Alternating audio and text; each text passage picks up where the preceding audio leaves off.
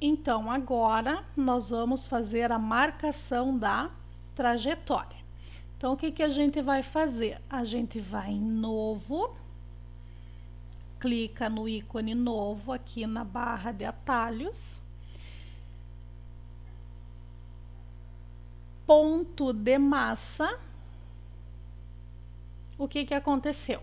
Observem que apareceu aqui no canto esquerdo da tela uma pequena janela e uma barra onde tem o nome da ferramenta inserida, no caso massa A.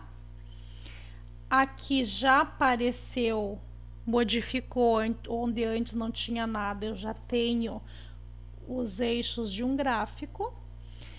E como que eu vou proceder para fazer essa marcação? Então, eu clico em massa A e vou em marcar como padrão.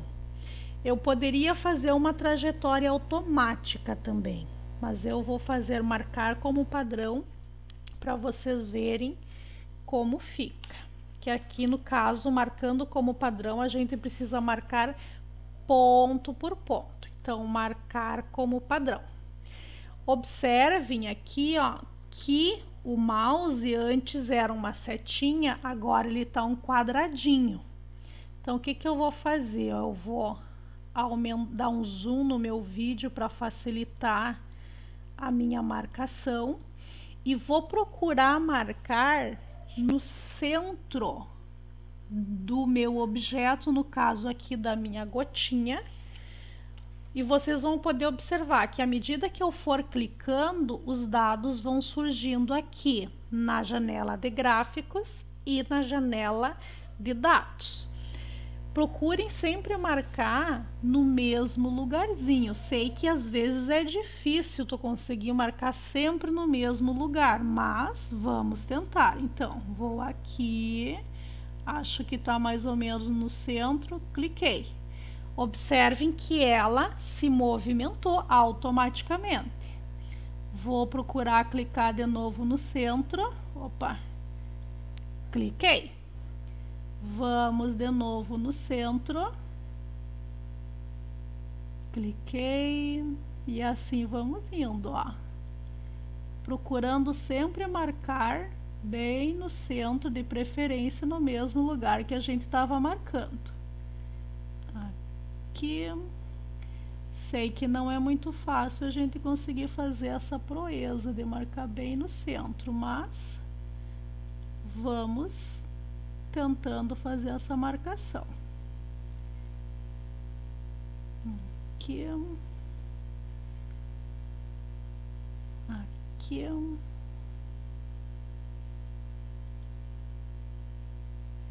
Tamo, e vamos indo lá.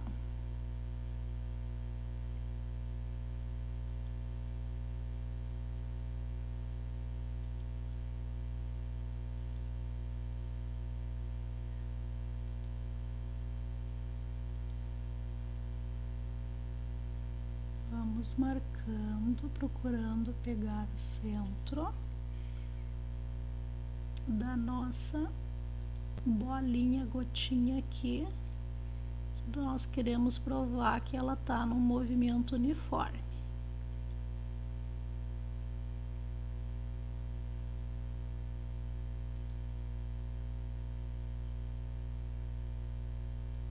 Ela parou, ela não está mais descendo, porque nós chegamos no frame 930.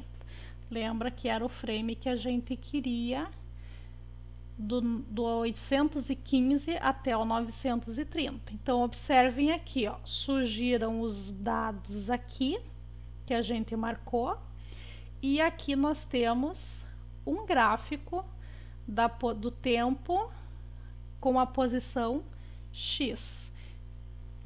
Então, agora nós vamos começar a fazer a análise desse gráfico, mas antes vou voltar aqui no início para vocês verem a trajetória da nossa bolinha aqui, ó.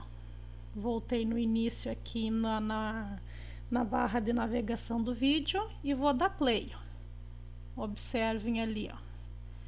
Tá descendo aqui, tá fazendo o movimento lá com o vídeo.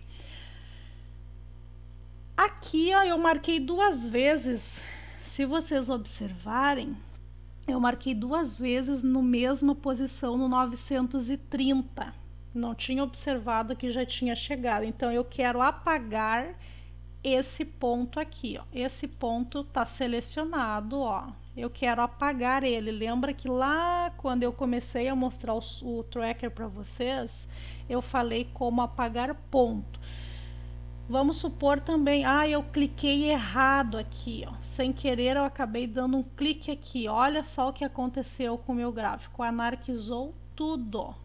Porque às vezes a gente não tem esse cuidado, quem está começando a aprender às vezes não observa que não pode clicar em qualquer lugar da tela aqui. Então eu tenho um ponto que eu preciso apagar. Então eu seleciono esse ponto, vou em editar, apagar ponto selecionado.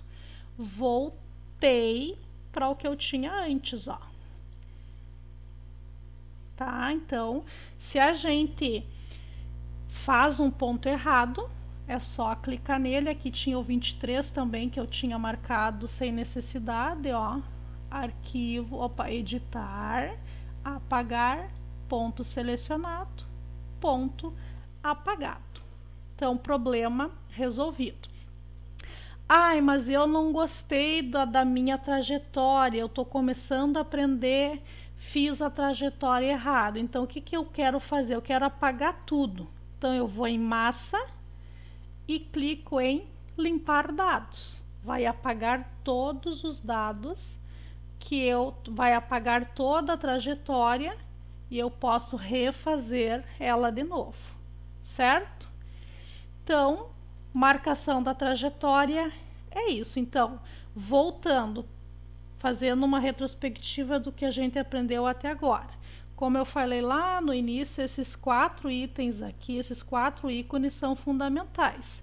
Então, selecionei a parte do. Primeiro eu abri o vídeo, selecionei a parte que eu ia trabalhar, inseri a fita métrica, ou seja, o bastão de medição, que é este aqui depois inseri o eixo de coordenadas aqui, eu coloquei ele de lado para vocês observarem mais facilmente a minha, a minha marcação da trajetória, mas eu poderia colocar ele bem no centro da trajetória ali, aliás, no centro do objeto, para fazer a minha marcação da trajetória.